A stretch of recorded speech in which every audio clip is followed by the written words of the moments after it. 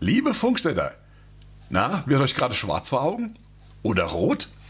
Aufgrund einer städtischen Störung sind unsere bisherigen Links und Videos leider derzeit nicht verfügbar.